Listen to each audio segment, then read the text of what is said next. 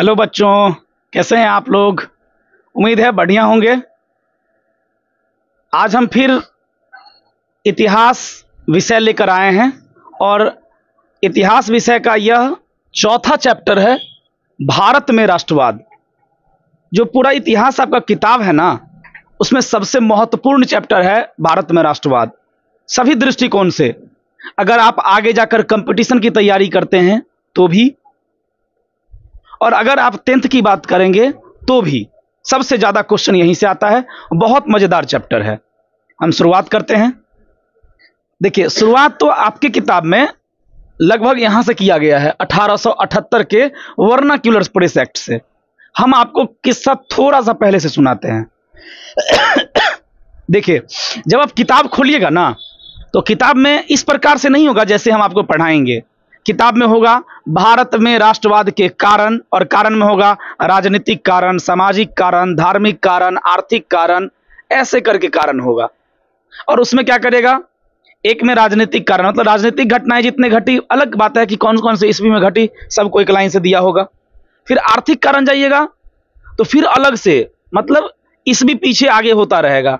कोई घटना यहाँ, कोई घटना वहाँ तो बच्चों को होता है कंफ्यूजन हमने प्रयास किया है कि एक बार इस चैप्टर को हम अपने अंदाज में आपको पढ़ा देते हैं।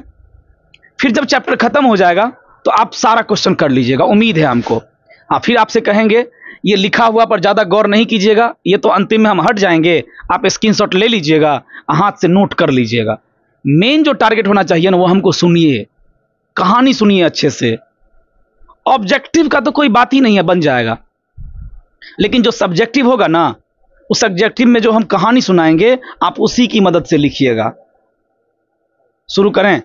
शुरू करते हैं। देखिए यह है सत्रह सौ संतावन पलासी का युद्ध। पलासी बंगाल के पास एक जगह है, और उस समय बंगाल में, या पूरे भारत में कहिए तो अंग्रेज़ का दबदबा नहीं हुआ करता था। अंग्रेज़ व्यापार करने के लिए आए थे और व्यापार करते थे। थोड़ा मोड़ा सैनिक था उनके पास। ये जो कहिएगा किसी को प्रॉपर हरा के जीते थे, ऐसा कोई नहीं था। पहली बार अंग्रेज़ ने अगर भारत में किसी बड़े चीज़ों को जीता, बड़े राजा को हराया तो वो था पलासी का युद्ध। आप ये कह सकते हैं कि भारत में अंग्रेज़ का बीज जो है ना, वो पलासी के युद्ध से जन्मा। एक तरफ़ था सिराजुद्दौला, बंगाल का नवाब, और दूसरे तरफ़ थे अंग्रेज़, और अंग्रेज़ के सेनापति थे रॉबर्ट क्लाइव।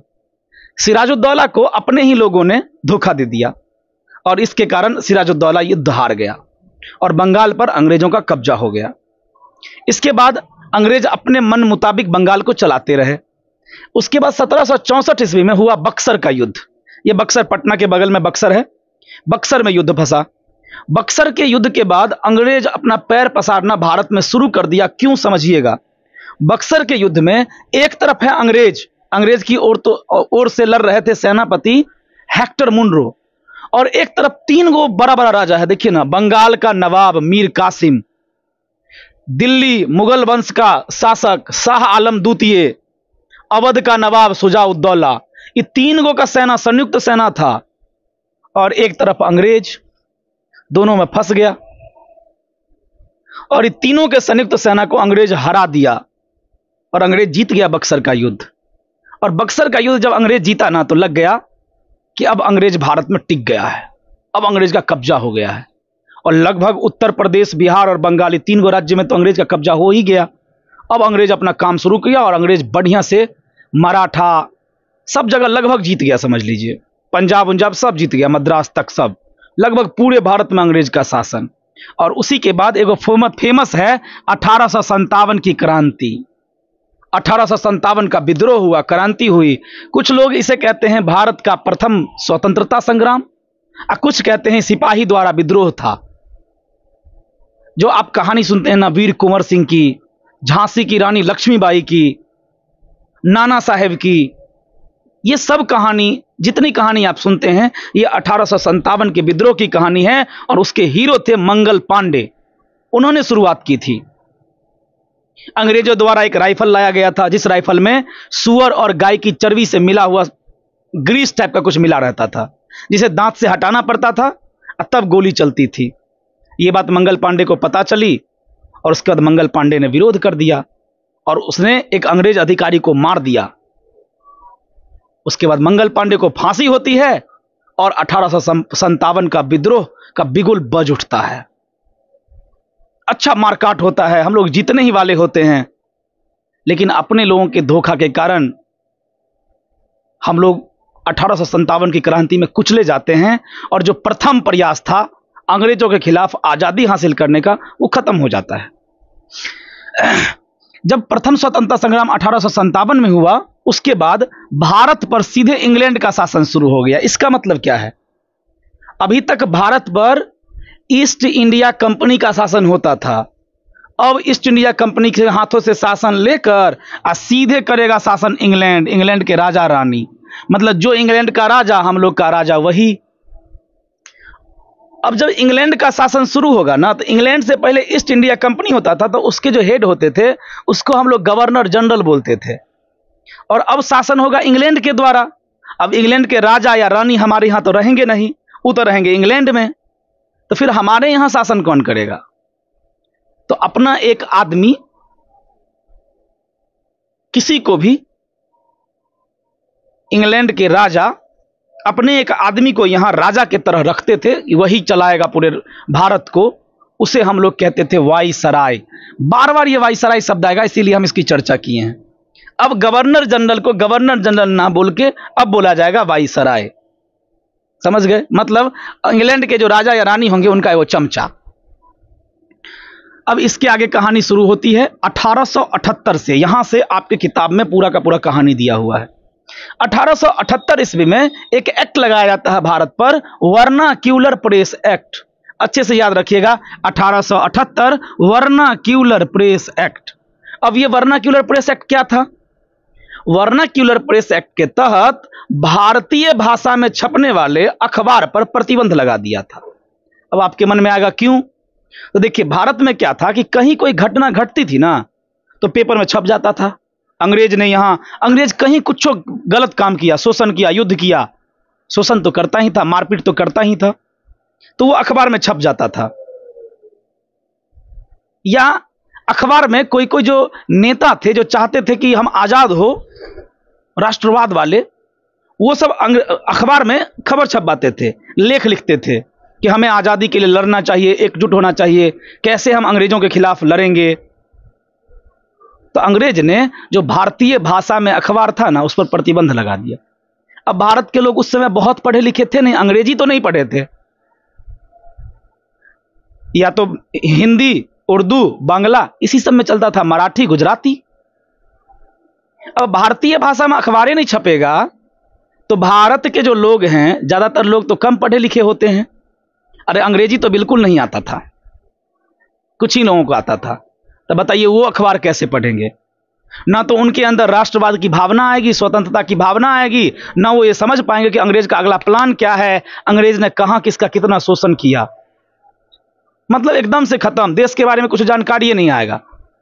और ये लागू किया लॉर्ड लीटन ने वाइसरा थे उस समय के लॉर्ड लीटन आप ये लॉर्ड लॉर्ड बोलेंगे ना तो आपको तकलीफ़ होगा। ये बार बार इसको लॉर्ड कहना पड़ता है। लॉर्ड मतलब स्वामी। देखिए, जैसे हमारे यहाँ का टाइटल श्रीमान, श्रीमती होता है ना, उसी प्रकार उस समय में इंग्लैंड में लॉर्ड होता था टाइटल तो इसका नाम है लॉर्ड लीटन जिसने वर्नाक्यूलर प्रेस एक्ट लागू किया। वाइसरा का क्या नाम है? लॉर्ड लीटन भारतीय भाषा वाले अखबार पर प्रतिबंध लगा दिया। अखबार छपेगा, लेकिन केवल अंग्रेज़ी भाषा में। बताइए, कितना आदमी पढ़ पाएगा? कुछ जान पाएगा देश के घटना के बारे में? वर्नाक्यूलर प्रेस एक्ट से बचने के लिए एगो पत्रिका थी, एगो अखबार छपता था। नाम था उसका अमृत बाज़ार पत्रिका। ये बड़ा गजब की पत्रिका थी।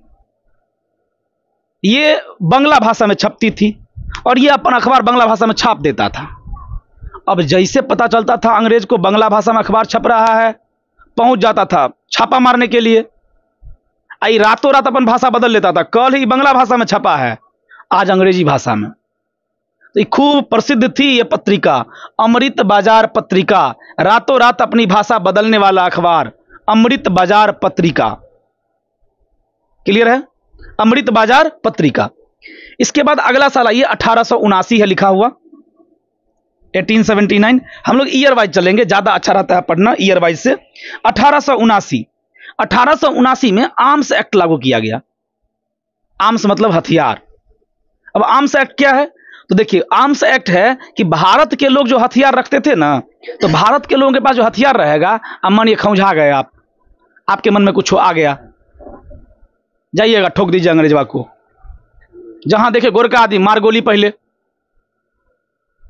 इसके लिए लॉर्ड लीटन ने आर्म्स एक्ट लगा दिया। अरे भाई, ऐसे तो जिसको मन होगा वही ना अंग्रेज़ को गोली मार देगा।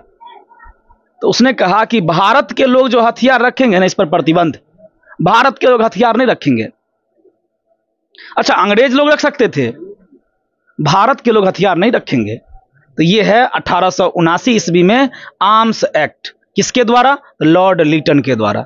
ये काम और ये काम दोनों लॉर्ड लिटन के द्वारा। अच्छा क्वेश्चन पूछता है कि वर्ना क्यूलर प्रेस एक्ट किसने लागू किया? तो लॉर्ड लिटन ने। आर्म्स एक्ट किसने लगाया? तो लॉर्ड लिटन ने। याद रहेगा? एगो अठारह एगो अठारह ठीक है? अब आगे आइए। अठारह लिखा है वर्ना क्यूलर प्रेस एक्ट समाप्त। ये लॉर्ड लिटन में बड़ा बे, बेकार आदमी था बहुत बदमाश आदमी।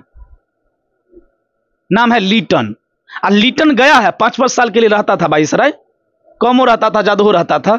उसके बाद आया लॉर्ड रिपन रिपन एक अच्छा व्यक्ति। इतना अच्छा था कि भारत में इतिहासकार ने उसे भारत का उद्धारक कहा है लॉर्ड रिपन को। स्थानीय स्वशासन का जनक। आजकल जो आप देखते हैं, स्थानीय स्वशासन मतलब मुखिया, प्रमुख, वार्ड मेंबर, इस सब के लिए। तो रिपन अच्छा व्यक्ति था, रिपन आया आया, और सबसे पहले वर्ना क्यूलर प्रेस एक्ट बंद करवा दिया। अठारह में मतलब चार साल समझ लीजिए, अठहत्तर में लागू हुआ, बिरासी में खत्म। लागू किया कौन? Lord Lytton. खत्म कौन किया? Lord Ripon. मतलब अब अखबार सब भाषा में छप सकता था।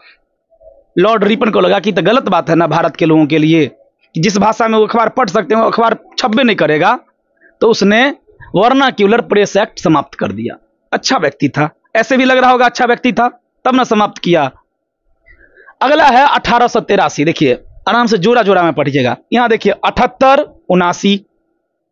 Vernacular press act, arms act दोनों लागू। लिटनवा के द्वारा, लॉर्ड लिटन लॉर्ड लिटन। यहाँ पर देखिए, अठारह वर्नाक्यूलर प्रेस एक्ट समाप्त। और इल्वर्ट बिल आया एगो बिरासी, एगो तेरासी। यहाँ भी लॉर्ड रिपन यहाँ भी लॉर्ड रिपन अब देखिए, होता क्या था? होता था कि उस समय में या तो व्यापार के लिए झगड़ा, पैसा रुपया के लिए मारपीट, या अंग्रेज़ कुछ गलत काम कर दिया, शोषण कर दिया तो भारतीय आदमी अंग्रेज़ पर केस करता था। पूरा का पूरा जत्ते था ना, जज लगभग अंग्रेजे था, कुछ भारतीय आदमी जज था। ऊपर से नियम क्या था? इससे पहले कि अगर मुकदमा किसी अंग्रेज़ पर होगा, कोनो मुकदमा हो, अगर अंग्रेज़ पर मुकदमा होगा, या दोनों पार्टी में कोनो पार्टी अंग्रेज़ है तो ओकर सुनवाई भारतीय जज नहीं कर सकता था। उसकी सुनवाई कोई ना कोई यूरोपीय जज करता, अंग्रेज़ी जज करता। लॉर्ड रिपन आए, और लॉर्ड रिपन ने इल्बर्ट बिल ला दिया। बहुत विवाद हुआ इस बिल पर, क्यों जानते हैं? क्योंकि इल्बर्ट बिल में लॉर्ड रिपन साहब ने कहा कि अब जो है, मुकदमा केकरो पर हो। मतलब मुकदमा अगर अंग्रेज़ों पर है तैयो कर सुनवाई भारतीय जज कर सकता है। नहीं समझे? आप सोच कर देखिए कि एक तरफ़ भारतीय आदमी है, एक तरफ़ अंग्रेज़ आदमी है। भारतीय आदमी अंग्रेज़ पर केस कर दिया। अंग्रेज़ जज सुनवाई करेगा, कहियो आपके पक्ष में फैसला करेगा। हमेशा तो अंग्रेजे का पक्ष लेगा। रिपन साहब इसी को बदल दिए। रिपन बोले, नहीं, अब भारतीय जज भी सुनवाई कर सकता है। इसी बिल का नाम है इल्बर्ट बिल। इसके समय वाइसराय कौन थे? तो लॉर्ड रिपन। देखिए ना, लिखा है, यूरोपीय लोगों के मुकदमों को भी भारतीय जज द्वारा सुनवाई। विवादित बिल था, खूब विवाद हुआ अंग्रेज़ के द्वारा। अंग्रेज़ लोग इसका खूब विरोध किए। इतना विरोध किए, इतना विरोध किए कि लॉर्ड रिपन का कार्यकाल समाप्त करके अंग्रेज़, इंग्लैंड बुलाया गया। इंग्लैंड में उन पर केस हुआ लॉर्ड रिपन पर। अब बच्चों को कंफ्यूजन क्या होता है समझिए। यहाँ पर नाम है लीटन लीटन। वहाँ पर रिपन रिपन। दोनों सेम सेम नाम है तो आप भूल जाइएगा। अच्छा हम आपसे पूछेंगे एक दो तीन, चार। इस चार गो काम में हम लोगों के लिए अच्छा काम कौन? आप आराम से बता दीजिएगा ना। देखिए, वर्नाक्यूलर प्रेस एक्ट हम लोग के लिए गड़बड़ काम। हमारे भाषा में अखबार छपना बंद। आर्म्स एक्ट भारतीय आदमी हथियार नहीं रख सकता है हम लोग के विरोध में काम हुआ। ये क्या हुआ? यहाँ पर वर्नाक्यूलर प्रेस एक्ट समाप्त समाप्त कर दिया गया। ये हम लोग के लिए अच्छा काम है। इलवर्ट बिल अच्छा काम है। देखिए, कब भी हम अच्छा काम करते हैं ना तो रिबन काटते हैं। कौन, देखिए ना, उद्घाटन की जगह था, रिबन काटिएगा, रिबन। अच्छा रिबन और रिपन में बेसी का अंतर नहीं है, देखिए ना, रिपन रिपन। आप आज के बाद ना, रिपन को रिपन बोलवे नहीं कीजिएगा, रिबन बोलिएगा। और रिबन कब काटते हैं? जब अच्छा काम हो। आ हम लोग के लिए अच्छा काम यहाँ हुआ है, यहाँ हुआ है। तो ये दोनों करेंगे रिपन। आई दोनों खराब काम, लोटा जैसन मुँह वाला, लिटन। नहीं समझे? लोग नहीं कहते, को मुँह लटका के बैठल रहेगा तो कहते रे, लोटा सनक मुँह काहे है? तो उसी से नाम याद रखिएगा, लीटन। ये चारों आप शायद याद हो गया होगा, आसानी है, एक दो बार देखिएगा, याद हो जाएगा। अब एक महत्वपूर्ण जगह आते हैं, भारतीय राष्ट्रीय कांग्रेस। ये वही कांग्रेस है जो अभी आप हाथ छाप नहीं देखते हैं, पंजा छाप। कांग्रेस कांग्रेस, राहुल गांधी वाला। वही वाला कांग्रेस है भारतीय राष्ट्रीय कांग्रेस। इसके बारे में पढ़ते हैं कि भारतीय राष्ट्रीय कांग्रेस क्या था। देखिए, बात क्या हुआ था कि अठारह ईस्वी का विद्रोह बहुत भयानक विद्रोह था। हम लोग गर्दा छोड़ा दिए थे अंग्रेज़ का। पकड़ पकड़ के कूट देते थे। अगर अपन आदमी सब धोखा नहीं देता तो हम लोग जीत भी जाते। उसके डर से अंग्रेज़ सब प्लान बनाया, क्या सोचा? कि कोनो ऐसा चीज़ बना दो ना, कि अगर ये भारतीय आदमी को गुस्सा आए, विद्रोह करने का मन हो, कोनो चीज़ मांगना हो तो डायरेक्ट हमसे नहीं मांगे। डायरेक्ट हमरे पर नहीं हमला कर दे। ई कोनो भारतीय आदमी का एगो ग्रुप बना दो जहाँ जाके वो बोले "ओए, हमरा चाहिए हमरा चाहिए आ ऊ आके हमरे पास बोले इससे क्या हुआ खतरा कम हो जाएगा। और यही पलान का फल था भारतीय राष्ट्रीय कांग्रेस। अखिल भारतीय राष्ट्रीय कांग्रेस कहा जाता है? भारतीय राष्ट्रीय कांग्रेस की स्थापना कब हुई? तो 28 दिसंबर 1885 याद हो जाएगा इकतीस तारीख को अंतिम जनवरी वाला पिकनिक मनाते हैं। एक जनवरी मनाते हैं, फ़र्स्ट जनवरी। तो 28 दिसंबर, तीन दिन पहले 28 दिसंबर 1885 दिन सोमवार था, उसी दिन स्थापना हुई भारतीय राष्ट्रीय कांग्रेस की। दो तीन बार बोलिएगा तो याद हो जाएगा। 28 दिसंबर 1885 संस्थापक कौन थे? तो ए ओ ह्यूम। ये रिटायर्ड अंग्रेज़ अधिकारी थे। अंग्रेज़ अधिकारी थे, रिटायर हो गए थे। तो वो भारतीय राष्ट्रीय कांग्रेस की स्थापना कर दी। प्लान तो समझ ही गए क्या था। नाम याद रहेगा? A, O, Hume. A, O, Hume. स्थान कहाँ था तो देखिए, पहले से फिक्स था कि ये होगा बम, पूना में। लेकिन पूना में प्लेग फैल गया। प्लेग बहुत खतरनाक बीमारी। प्लेग को काली मौत कहा जाता है। मतलब आपका सब प्लेग होगा ना तो सरने लगता है। सर के लाल लाल गिरने काला काला गिरने लगता है। आदमी धीरे धीरे यहाँ से शुरू हो रहा धीरे धीरे सरना शुरू हो जाएगा। पूरा से काला काला गिरेगा। इसलिए काली मौत कहा जाता है। और अगर एक आदमी को हो गया, और उसके बगल में कोई गया, छू, ऊ दिया, उसको भी हो जाएगा। संक्रामक बीमारी है। तो एक बार जो प्लेग फैल जाता था ना तो गाँव का गाँव साफ़ हो जाता था। कोई इलाज ही नहीं था प्लेग का उस समय में। आज भी लगभग इलाज नहीं है, लेकिन आज पहले टीका लगा दिया जाता है। तो पूना में प्लेग फैल गया तो कौन जाता पूना? तो पूना के जगह बंबई में रखा गया। बंबई में भी कहा? गोकुल दास तेजपाल संस्कृत कॉलेज में। मीटिंग रखा गया पहला। प्रथम अध्यक्ष तो कोई मीटिंग होता है उसके अध्यक्ष होते हैं। तो अध्यक्ष कौन थे? व्योमेश चंद्र बनर्जी, डब्ल्यू सी बनर्जी इनको कहा जाता था। व्योमेश चंद्र बनर्जी। प्रथम अध्यक्ष कौन? व्योमेश चंद्र बनर्जी। उस समय के बाइसराई कौन थे? तो लॉर्ड डफरिन। Lord Dufferin. देखिए, कोनो नया काम होगा या पुराने जमाने में होता था ना तो लोग बड़का बड़का ढोलक लेके जाते थे बुलाने के लिए। तो आप याद रखिएगा होली होली में देखते होंगे डंफा बजते हुए। तो उसी डम्फा से याद रखिएगा डफरिनमा को, लॉर्ड डफरिन। अच्छा पहली बार जो हुआ था, बंबई में 28 दिसंबर 1885 को, उस समय कुल सदस्य बहत्तर गो आए थे। मात्र बहत्तर आदमी से शुरू किया हुआ संस्था था। हज़ारों आदमी बनते गए धीरे धीरे आप प्लान तो समझिए गए एक बार बोल रहे फिर से। बोलिए, भारतीय राष्ट्रीय कांग्रेस की स्थापना कब हुई? तो 28 दिसंबर 1885 संस्थापक कौन थे? A, O, Hume. ये कौन थे? तो रिटायर्ड अंग्रेज़ अधिकारी थे। कहाँ पर हुआ था स्थापना? तो बंबई में। बंबई में कहाँ? तो गोकुल दास तेजपाल संस्कृत कॉलेज में। इसके प्रथम अध्यक्ष कौन थे? व्योमेश चंद्र बनर्जी। उस समय वाइसराय कौन थे? तो लॉर्ड डफरिन। टोटल सदस्य कितने आए थे? तो बहत्तर। इसके बाद ये कांग्रेस क्या है? तो कांग्रेस शब्द जो है, वो उत्तरी अमेरिका के इतिहास से लिया गया है।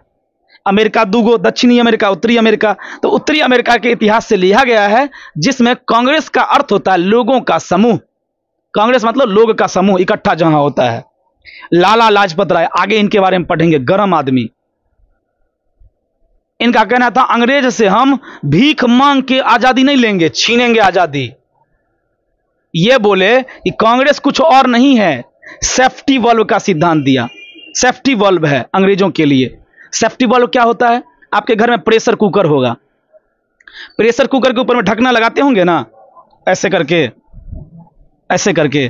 तो यहाँ पर देखिएगा, एगो नट जैसा लगल होगा। नट जैसा। वही सेफ्टी वॉल्व है। पुराने जमाने में क्या होता था कि कुकर का सीटी में अगर कुछ चावल वावल घुस गया ना, जाम हो गया तो कुकर ब्लास्ट कर जाता था। तो धीरे धीरे उसमें वो सेफ्टी बल्ब लगा दिया गया। मतलब अगर कभी कोई कुकर जाम हो गया तो कुकर के फटने से पहले वो जहाँ पर सेफ्टी बल्ब लगा रहेगा ना बल्ब वो पिघल जाएगा वो जल जाएगा और सब गैस उधर से निकल जाएगा। तो कुकर ब्लास्ट होने से बच जाएगा। तो लाला लाजपत राय ने कहा लाज, लाला लाजपत राय ने कहा कि अंग्रेज़ अपने लिए एगो सेफ्टी बल्ब खोजा है। कि आदमी का गुस्सा फटने से पहले कांग्रेस पर फोड़ दे। तो उन्होंने सेफ्टी वॉल्व का सिद्धांत दिया। किसके चक्कर में? तो कांग्रेस की स्थापना के बारे में। सेफ्टी वॉल्व का सिद्धांत। यह किस्सा हम लोग अभी तक पढ़े हैं भारतीय राष्ट्रीय कांग्रेस तक। इसके आगे थोड़ा सा गतिविधि चलने लगा। अठारह के बाद क्रांतिकारी गतिविधि थी गोली पिस्तौल वाला। बंद हो गया था लगभग। धीरे धीरे शुरू हो रहा था। शुरू करने में हाथ था बाल गंगाधर तिलक का। बाल गंगाधर तिलक क्रांतिकारी को एक जगह इकट्ठा जो करते थे ना तो पुलिस पकड़ लेती थी। तो बाल गंगाधर तिलक ने प्लान बनाया कि धर्म का चीज़ कोनो होगा ना, अब मेला लगाएँगे, मेला में जो मिलेंगे ना तो कोई नहीं पकड़ेगा डोरे। धर्म के चीज़ में ज़्यादा डिस्टर्ब नहीं करता है। अंग्रेज़ भी बहुत कम करता था, उसको लगता था धर्म के नाम पर हम कुटा जाएँगे। तो इन्होंने अठारह सौ तिरानवे ईस्वी में गणेश उत्सव शुरू किया। गणेश चतुर्थी में गणेश उत्सव नहीं मनाते हैं वो। और अठारह सौ पंचानवे में शिवाजी उत्सव, बाल गंगाधर तिलक ने शुरू किया। शिवाजी जयंती, ऐसे करके। इसमें क्या होता था? कम से कम साल में दो बार। एक बार गणेश उत्सव में और एक बार शिवाजी उत्सव में। सब क्रांतिकारी एक जगह मिलते थे। प्लान बनता था। इसी के बाद की घटना, एक अठारह की बात की घटना आपको हम सुनाते हैं। बड़ी मार्मिक घटना है, दर्दनाक घटना है। पुणे में फैला था प्लेग। अब आप कहेगा, सर, अठारह सौ पचासी में फैला था। भाई, एक बार फैल गया, संक्रामक बीमारी है। क्या लगता है, कोरोना अभी खत्म हो जाएगा? आप बार बार सुनते होंगे, कोरोना है कोरोना है कोरोना है। रहेगा। प्लेग एक बार फैल जाता था तो बहुत दिन तक परेशान करता था। और अगर इलाके में एक भी आदमी प्लेग से पीड़ित रह गया ना तो फिर प्लेग ज़िंदा हो जाएगा। तो दो अंग्रेज़ अधिकारी थे। वो पुणे में घर घर जाकर प्लेग की जाँच करते थे। तो एक जगह की घटना है कि पुणे में एक घर में दोनों प्लेग अधिकारी घुसे हैं। लोगों ने मना किया कि रुक जाइए, छोड़ दीजिए अभी। एक लेडी थी प्रेग्नेंट थी, और वो महिला बच्चे को जन्म दे रही थी, और वो लेबर पेन में थी। तो लोगों ने, घर के लोगों ने मना किया कि रुक जाइए, अभी नहीं कीजिए। कुछ देर बाद आप जाँच कर लीजिएगा। अंग्रेज़ अधिकारी नहीं माने। झड़प हो गई। अंग्रेज़ अधिकारी ज़बरदस्ती पुलिस को बुला के अंदर घुसे और कहा जाता है कि उसका बाल पकड़ के महिला को खींचते हुए बाहर लेके आया। दौड़ा के बाहर लेके आया। बहुत कष्टदायक स्थिति थी उसकी। महिला और उसके बच्चे की मृत्यु वहीं हो जाती है। और बहुत दिनों के बाद, अठारह सौ पंचानवे ईस्वी में, पुणे के ही दो भाई हैं। दोनों भाई मिलकर प्लेग अधिकारी की हत्या कर देते हैं। बहुत दिन के बाद एक क्रांतिकारी घटना घटी थी। इसके बाद शांत रहता है माहौल और एक बार और माहौल गर्म होगा 1905 ईस्वी में। ये 1885 से लेकर 1905 तक का काल एकदम शांत वाला काल था। 1905 ईस्वी में कब देश गर्म हुआ एक जगह? तो जब बंगाल का विभाजन हुआ। उस समय के वायसराय थे लॉर्ड कर्जन। और बंगाल का आप देखिएगा ना तो आज हमारे पास अभी मैप तो नहीं है डिजिटल बोर्ड है नहीं कि मैप आपको दिखाएँगे। बंगाल का मैप देखिएगा तो गौर से देखिएगा, जो बांग्लादेश है ना आज, वो बांग्लादेश बंगाले हुआ करता था पहले। हम लोग का पश्चिम बंगाल, हम लोग का बिहार, उड़ीसा और बांग्लादेश पूरे को बंगाल बोलते थे। अच्छा पश्चिम की तरफ़ जो बंगाल था, जिधर बांग्लादेश है, उधर मुसलमानों की संख्या ज़्यादा। अब पूरब की तरफ़ जो बंगाल है, जो हम लोग का आज बंगाल है सॉरी पश्चिम की तरफ़ जो बंगाल है हम लोग की तरफ़ जो बंगाल है, इधर हिंदू ज़्यादा, अब पूर्वी बंगाल, पश्चिमी बंगाल नहीं सॉरी पूर्वी बंगाल की तरफ़ मुस्लिम ज़्यादा। और अंग्रेज़ की नीति थी, फूट डालो और राज करो। अंग्रेज़ ने एक सीमा रेखा बना दी बीच से। एक तरफ़ पूर्वी बंगाल, एक तरफ़ पश्चिमी बंगाल। पूर्वी बंगाल में मुस्लिम ज़्यादा, पश्चिमी बंगाल में हिंदू ज़्यादा। और इसे कहा गया बंगाल विभाजन। जब उनसे पूछा गया कि आप ये क्यों करना चाहते हैं तो वो बोले कि बंगाल बहुत बड़ा है। हमें प्रशासन करने में दिक्कत होती है। इसी को कहते हैं बंगाल विभाजन। बंगाल विभाजन कब हुआ? 1905 में। बंगाल विभाजन कब हुआ? 1905 किसने किया? तो लॉर्ड करजन। बदनाम बाईसराय में से एगो बदनाम बाईसराय भी था, लॉर्ड करजन। बंगाल को दो भाग में बांटा गया, पश्चिम बंगाल, पूर्वी बंगाल। ये पूर्वी बंगाल जो सुन रहे हैं ना आप, आज जो बांग्लादेश है, ये कभी पूर्वी बंगाल ही हुआ करता था। 1971 ईस्वी में हम लोग इसको आज़ाद करवा के बांग्लादेश बना दिए।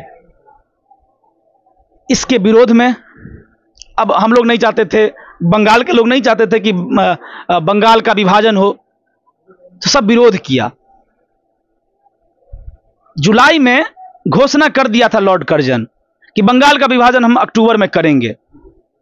लोग विरोध करने लगे और अगस्त में, अगस्त 1905 में कलकत्ता के टाउन हॉल से सब लोग एकजुट होकर एक आंदोलन शुरू किया, जिस आंदोलन का नाम था बंग भंग आंदोलन।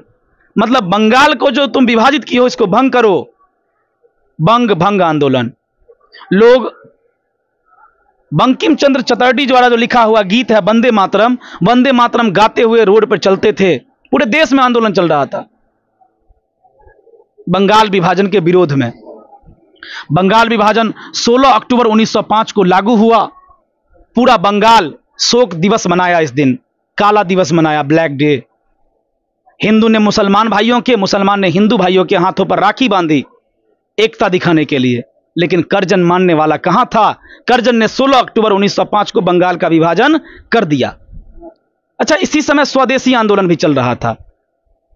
तो स्वदेशी आंदोलन पूछे तो भी 1905 बंगभंग आंदोलन पूछे तो भी 1905 बंगाल विभाजन पूछे तो भी 1905 आदमी का नाम याद रहेगा, लॉर्ड करजन।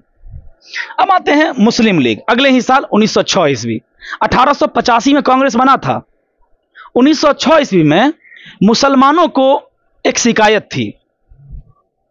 मुसलमानों की शिकायत यह थी कि जो कांग्रेस है ना, ये केवल हिंदुओं की बात करती है। मुसलमानों के पक्ष में बोलती ही नहीं है। जबकि ऐसा था नहीं। कांग्रेस में बहुत सारे मुस्लिम नेता भी थे। और वो भारतीयों का पक्ष उठाते थे, ना कि हिंदू का, ना ही मुसलमान का। तो 1906 ईस्वी दिन है 30 दिसंबर 1906 ईस्वी, जगह ढाका। आज बांग्लादेश की राजधानी कहलाती है ढाका। ढाका में आगा खां और सलीमुल्ला खां ज़्यादा फ़ेमस आदमी हैं। इन्हीं दोनों की अगुवाई में मुस्लिम लीग की स्थापना होती है। एक और व्यक्ति याद रखिएगा, बकर उल मुल्क। इनका नाम कम ही आता है, लेकिन फिर भी पढ़ रहे हैं तो पढ़ लेते हैं। आगा खां, सलीमुल्ला खां, बकर उल मुल्क। ये तो तीनों मिलकर 30 दिसंबर 1906 को ढाका में मुस्लिम लीग की स्थापना करते हैं और अंग्रेज़ का जो प्लान था, फूट डालो और राज करो, उसमें अंग्रेज़ को एक और सफलता मिलती है। अब भारत में दो पार्टियाँ हैं, हिंदू की अलग, मुस्लिम की अलग। ऐसा मुस्लिम लीग का कहना था।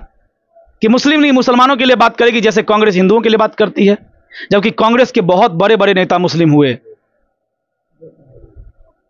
अध्यक्ष, शुरुआती में अध्यक्ष हुए बदरुद्दीन तैयब जी। मौलाना अबुल कलाम आज़ाद लंबे समय तक कांग्रेस के अध्यक्ष रखने वाले एक व्यक्ति हैं। सबसे लंबा समय उन्हीं का रहा। और ये वो कहते थे कि मुस्लिम के बारे में कांग्रेस नहीं बोलती है। इसीलिए हम लोग अलग बना रहे हैं मुस्लिम लीग। बच्चों, हमने आज पढ़ा प्लासी का युद्ध, बक्सर का युद्ध, अठारह सौ संतावन अठारह में वर्नाक्यूलर प्रेस एक्ट, अठारह सौ उनहत्तर में आर्म्स एक्ट, अठारह सौ वर्नाक्यूलर प्रेस एक्ट समाप्त, अठारह सौ तिरासी लिवर्ट बिल, कांग्रेस की स्थापना अठारह सौ पचासी, फिर बाल गंगाधर तिलक के द्वारा गणेश उत्सव और शिवाजी उत्सव 1905 में बंगाल विभाजन 1905 में ही बंग भंग आंदोलन मुस्लिम लीग की स्थापना 30 दिसंबर 1906 जब हम अगले वीडियो में मिलेंगे आपसे तो कांग्रेस में सूरत फूट। फिर आपको किस्सा सुनाएँगे खुदी राम बोस जी का। यही मुजफ्फरपुर में जिनको फांसी मिली थी। गदर पार्टी, दिल्ली दरबार, कामागाटा मारू प्रकरण, होम रूल लीग आंदोलन, गांधी जी का भारत आना इन सब के बारे में अगले वीडियो में चर्चा करेंगे। आशा है आप समझे होंगे। या क्या दिक्कत है? आपको और क्या चाहिए? ये आप हमें कमेंट करके बता सकते हैं। हम जो पढ़ा रहे हैं, इसमें अगर कोई बदलाव चाहिए तो भी आप बता सकते हैं। ठीक है? हम मिलते हैं अगले वीडियो में। आप लोग इसका स्क्रीनशॉट लेके और नोट अच्छा बनाइए। ठीक है? धन्यवाद। आप स्क्रीनशॉट ले लीजिए।